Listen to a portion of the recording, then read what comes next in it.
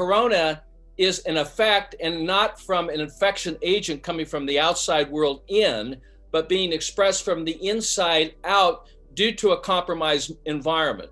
Now, you can actually see the evidence of this in the macro world when you look at the forests of Denali, or if you see the deterioration of the coral reefs off the coast of Australia, uh, the Gold Coast. This is happening because the ocean is absorbing air pollution, toxins, carbon monoxide, titanium dioxide, uh, hydrogen uh, cyanide. And, and in doing that, the pH of the ocean is dropping. I, I think simplified way to understand this is what I call the fishbowl metaphor. And the fishbowl metaphor starts with a question. And the question is this If the fish is sick, what would you do? Think carefully.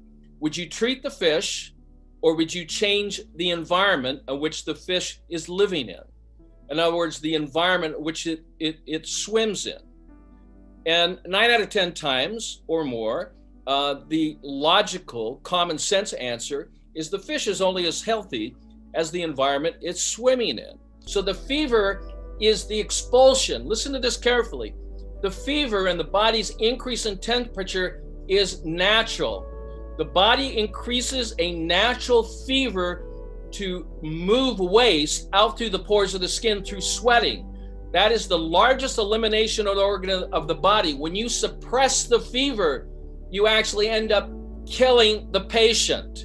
Germs in of themselves do not do not cause disease. Seeds do not grow unless they're put in a proper environment.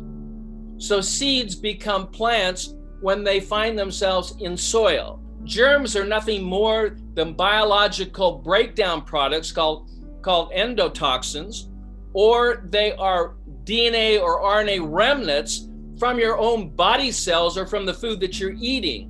The body has to clear that out. So the infection is is the, the illusion. The actual solution to the pollution then is understanding that this is an outfection coming from the inside out. And exosomes are not the virus. All of the symptoms from the fever to the dry cough is the body trying to expel waste products that are building up in the largest organ of the human body. That's the interstitium. Uh, uh, the interstitial fluids, which holds the interstitial fluids which surround every cell. What makes vaccines so dangerous? It's simple. Read the ingredients. Use common sense.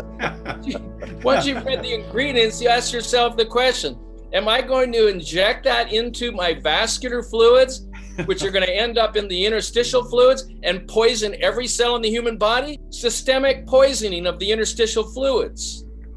I measure it. It's called decompensated acidosis of the interstitial fluids of the interstitium. So you must be the change.